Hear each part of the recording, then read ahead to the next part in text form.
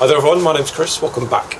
Today we're going to be taking a look at the Arc'teryx Leaf, uh, Law Enforcement and Armed Forces, Talos uh, trousers or pants for you, uh, for you American types. Now, I've got two examples here, we've got the multicam and the Wolf Grey. So we're going to start off looking at the front here in the multicam. Obviously this is just an overview, uh, it's my sort of initial overview, they cost a fucking lot of money, uh, so I'm going to be going over these initially today I have to wear them a few times, try them out different scenarios, see how they actually perform before uh, obviously I make any judgments and say whether they're good or bad. This is just going to be running through the features. So I say, starting off on the front of the multicam, I'm going to work from the bottom. First, uh, you've got inbuilt gaiters, both legs. They're just the normal nylon cotton material. They're not like waterproof or anything, so they're not like your sort of uh, heavy duty gaiters that you just strap on around your boots. They're just for sort of keeping crap up from uh, going up your ankles shock cord, bungee little cord lock on here. as you can see, you've got these, these extra baffles, as it were, inside the base of each leg. Moving up, we've got the knee pads, the, the knee pad uh, storage area, as it were. On the outside, what you've got is this wide strip of webbing. Now, obviously, the comparison people are going to make with these, given the price and the style, is to the Crye Gen 3 Combats the Arc'teryx kneecaps, which are the, the, the uh, separate standalone knee pads they make, they can be attached to these in a similar-ish way to the Cryes, but what you actually do is you put the kneecaps up inside. There's a pocket inside here, and they will sit behind the outer layer of fabric. The, the straps then come out of these pockets uh, and go around your leg. So the, the actual plastic and the foam of the knee pad stays inside the material of the trouser now. To my mind, this isn't a very good idea. I mean, on the one hand, this webbing stuff is extremely durable, and you'd have to spend a lot of time kneeling on, on rocks and concrete and stuff to wear through it, but it will eventually wear through, and at that point, you've got to you just really got to replace the whole trouser. I suppose you could sew on, like, stitch maybe another strip of webbing on the top, and that would probably give you some more life, but whereas obviously the you fit the combat uh, knee pads into the Cryes and then that plastic sits on the outside of the fabric. So then when the knee pads wear out you just swap those and the trousers themselves are still fine. But anyway next up is the, the main cargo pocket so that's your thigh pocket. Interestingly the flap is sort of sewn where it, whereas it's kind of loose at the sides on, on most like combat cut type uh, trousers these the actual sides of the flaps are sewn down and they're, quite an interesting shape to them. They have one baffle at the side here so they can expand a bit. got uh, this teardrop shape type Velcro for the opening, and then you've got a, a, pretty good amount of room inside of there.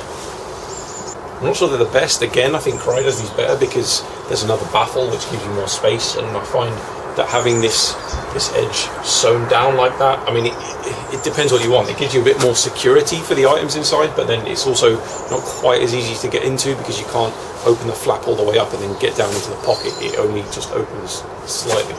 Again, I think with a bit more testing, I'll find out you know how those actually perform in the real world. Standard front trouser pockets, pretty deep cut, so they're nice and accessible. That's good double press stud at the top of the fly and then you have a YKK zip on the fly itself. Nice wide belt loops, 2 inch to accept a wide variety of duty and rigged belts. Uh, the main material that it's made out of is a nylon cotton blend, pretty much your standard fabric. Uh, they're not flame resistant, which is a shame for the price, but then neither are the standard Cryes and, and they cost similar. So, last thing to mention is the these little elastic points that you see up here, uh, and those are for uh, use of like a harness or sort of dungarees type arrangement, so you can you can have a you can have something to, to really keep them up if uh, if your belt isn't doing the job. I'm, this is something you tend to see more with like hunting gear.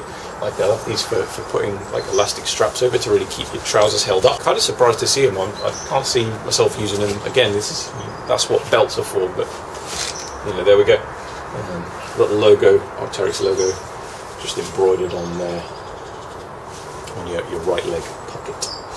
So we'll move on to the rear on the Wolf Grey here. Again, some, some nice large belt loops. And you've got your, your slash pockets at the back, whereas the Crye's are zipped here. These are again this sort of teardrop shaped Velcro, they're fairly narrow, and again the sides of them are sewn down, so stuff's less likely to fall out. But I, I think they're not as easy to get into. Again, see you've got fair, fairly deep pocket on there, so good for your keys and stuff. I prefer the zips on the Cryes because then when you put like small items in those there, you know they're 100% secure. Whereas obviously Velcro, um, it's a, it's very unlikely stuff would come out, but it's nice to have 100% security for those those smaller crucial items. Here, and this is uh, it's got some color matched uh, Cordura here material. That is a knife pocket, so when you are putting your everyday carry knives in and out, you're not going to wear out fabric when you're repeatedly putting it in and out of there. As with a lot of Arc'teryx stuff, to a large extent, what you're paying for is the amount of, sort of man hours and the, the number of panels that they use to make up these things. Most uh, most garments, most apparel in general, they use a minimum number of actual panels of fabric to, to make them up. Arc'teryx, they tend to do things a little differently. Obviously, the materials are top notch to start with, and then to give you the maximum range of motion and that, that athletic fit, slightly on the loose side. Just uh, there's a lot of gusseting, a lot of I'd say a lot of um, different panels all stitched together to make each piece. So there's a lot of lot of manufacturing involved. Obviously, that, that range of motion is nice. The cost of it is very high. Uh, you know, there's a lot of cheaper stuff that most of the time is going to do the job just as well. But there's, as with every market, there's a low end, there's a middle, and there's you know there's a high end, and there's like fucking premium shit. So that's the that's the sort of niche that Arc'teryx fill, and uh, it is nice, but whether they're for you, that's for you to decide. Last thing to mention is uh, just the ankle pockets down here.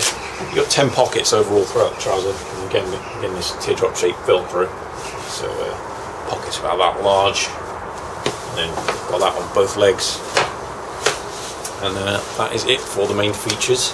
Uh, Arc'teryx Talos. Color-wise, you've got the grey, the multi-cam, and it's also got the crocodile, which is which is this sort of a colour. It's basically a fucking fancy name for coyote brown.